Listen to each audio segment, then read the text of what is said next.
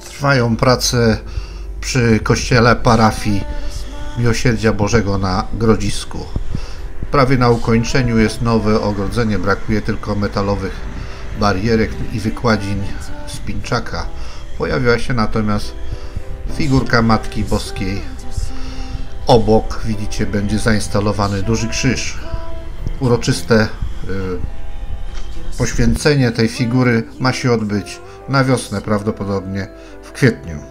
Trochę narzekaliśmy na remonty ulic wewnętrznych Grodziska, ale jak sami widzimy, tempo pracy jest spore i już niedługo cieszyć się będziemy z nowych jezdni, nowych chodników. Teren przed kościołem jest już uporządkowany i mam nadzieję, że przy okazji tego potężnego remontu władze miejskie zadbają o utwardzenie tego terenu, zrobienia porządnego przejścia, a nawet wspaniale by było, gdyby tu pojawił się parking. Przy ulicy Grunwaldzkiej na wjeździe na Podgórze lokalny przedsiębiorca buduje dosyć pokaźny sklep. A w centrum, jak zwykle, ogromne utrudnienia na ulicy Klasztornej. Nie zawsze do końca prawidłowe parkowanie samochodów utrudnia w znaczący sposób ruch prawostronny. Nie lepiej jest na ulicy Grodziskowej. Utrudnienia w ruchu na batalionów chłopskich zwiększyły tutaj ilość pojazdów. Wydawałoby się, że ten nazwijmy go górny zakręt 90-stopniowy z lustrem od strony rynku jest dużo bardziej niebezpieczny od tego dolnego.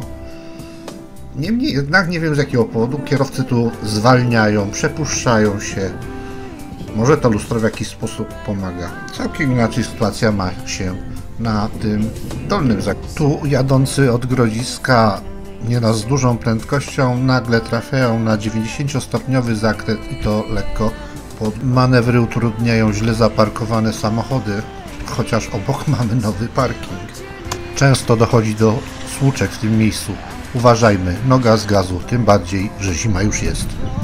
Światła drogowe zatrzymują ruch już na wysokości ulicy Siedmiu Źródeł. Czasami kolejka samochodów zaczyna się tu od tego skrzyżowania.